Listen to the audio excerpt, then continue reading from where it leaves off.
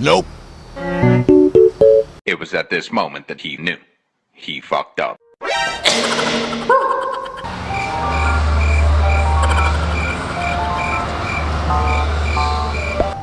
Diba ang haba?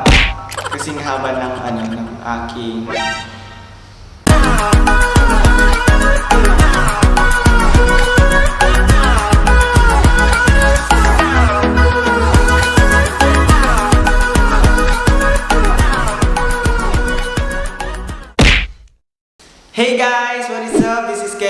Back for another video. Yes, nagbabalik na naman tayo and sana huwag kayong magsawa sa pagmumukhang ito. Opo. Yes. So for today's video guys, dapat ito yung una-una kong upload kaso hindi ko siya nagawa kasi hindi ko pa alam yung sasabihin ko. So, ngayon ko pa lang siya gagawin. So, ang gagawin ko guys ay yung 10 facts about me. Bago tayo magsimula, gusto ko lang pasalamatan lahat ng mga nag-subscribe sa ating channel at yung mga nanonood sa ating mga uploads. Maraming salamat. At kung bago ka pa lang sa channel na to, baka naman, ano bang ginagawa mo?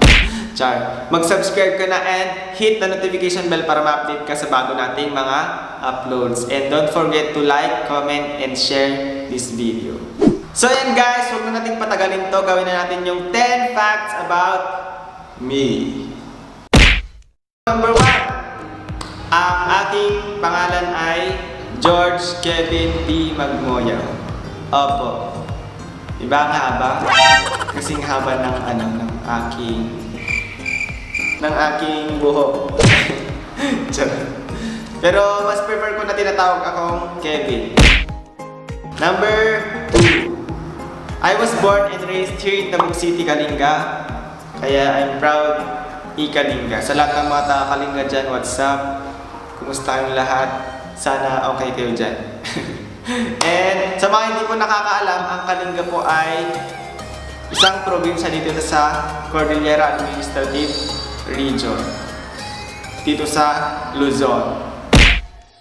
Number 3. My height is um, 172.72 centimeters tall. So yan. Number 4. Yes, mahilig po akong makinig ng music at kumanta. Share ko lang guys, natuto akong kumanta dahil sa ate ko, tinuruan niya ako nung mga grade 1 ata or grade 2 ako nun. Tapos yung unang tinuro niya sa akin ay yung Wag na wag mong sasabihin na hindi mo... Basta yun, yun yung tinuro niya sa akin nung grade 1 yata or grade 2. Tapos hanggang nag-college na ako, doon na na-enhance kasi sinasali nila ako sa department namin sa mga intramurals, ganyan. So, minsan nananalo, minsan natatalo. Number 5. So, yung hobby ko, kung nanonood ka sa mga past videos ko, alam nyo na to, yung hobby ko ay pagtitig ng picture. Yan. Mahilig akong kumuha ng mga litrato. Ayun. Number 6. My zodiac sign is Capricorn. Yes guys, I'm a Capricorn. And I am ambitious, organized, and practical.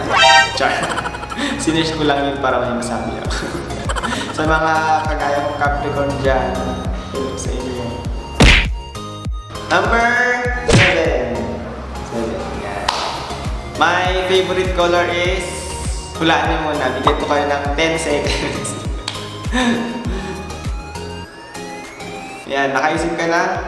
My favorite color is brown. Brown. Nagsimula yata yun nung ano, nung high school ako kasi blue ata yung favorite ko nung bata ako. Tapos nung nag-high school na ako, naging brown. Hindi ko alam kung bakit. Number 8. Yes, number 8 na tayo. My dream destination is kapag international, gusto ko sa ano, Japan. Yes, Japan. Gusto kong pumunta ng Japan. At kapag local naman, sa ano sa Batanes. Yan. Kasi feeling ko doon stress-free doon. Tapos sarap ng dagat. Yung view, ang sarap siguro mag-picture-picture doon. Kaya, ayun, gusto kong pumunta doon. Number 9. Guys, marami sigurong mag-disagree sa inyo dito, pero ayaw na ayaw ko po sa ano, sa watermelon o yung pakwan. Hindi ko po alam. Nung bata naman ako, kumakain naman ako ng pakwan, pero nung mga grade 6 or nag-high school, ayaw ko na sa pakwan. Hindi ko po alam kung bakit. Number 10. Yes, last na to guys. So, yung 10th fact about me, I'm allergic to shrimp. Opo. Kasi meron yung one time noon na shrimp lang yung ulam namin. tas mga after 10 to 30 minutes, matutulog na sana kami. Pero sobrang kati ng katawan ko. Sobrang daming rashes. Nagre-red na yung buong ano ko, skin ko. Tapos yun, naligo pa ako para akala ko matatanggal siya kapag naligo ako. Pero yun, nag-decide na yung family ko na idala ko sa ospital. Tapos pag dating namin ng ospital, isang turok lang nila, inawala na agad.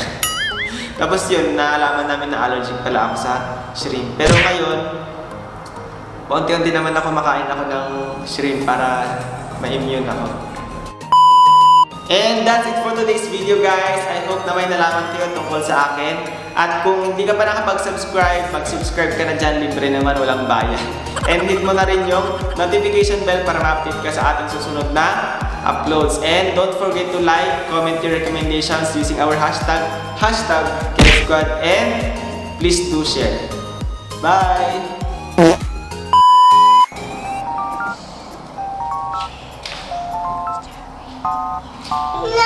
No! Abay,